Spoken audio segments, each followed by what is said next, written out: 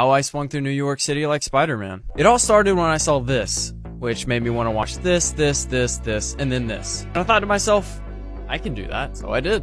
First, I fired up Blender and used Kitbash 3D's city kits to create a New York City street. I laid out the road and then I put the buildings in place. Next, I placed different types of cars, trucks, buses, and taxis on the road for traffic. This made the city feel busy and active. At this point, I had created what I call my Sweet Tart City. This was everything I needed to start animating the camera, which was the trickiest part. I wanted to replicate this slow-mo shot from The Amazing Spider-Man, so I created a path and attached a camera to it.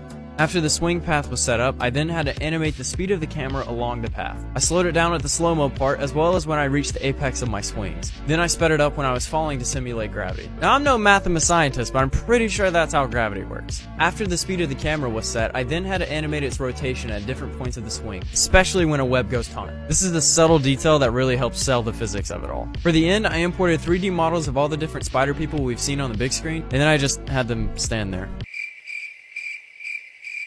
After all the 3D work was done, it was time to render. In order to keep my PC from combusting into flames, I put two fans blowing at full blast into my open computer. 60 something hours of rendering later, I had something half decent. Now it was time to film the live action parts, which was literally just my hands.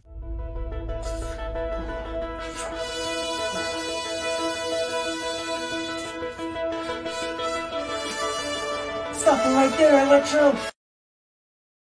I'm so sorry. After I was done pretending I was a child for 10 minutes, I imported the footage into After Effects and then keyed out the green using Primatte Keyer. For the web shooters, I used advanced Lightning and tweaked the settings to make it look like webbing. And then I slapped on Starglow by Red Giant to make it look like the light was bouncing off of it. This gave it that silky web look that I was looking for. Next, I added some smoke puffs and then composited everything together using SuperComp. Finally, I sent it to Premiere Pro for the sound design, and then it was done.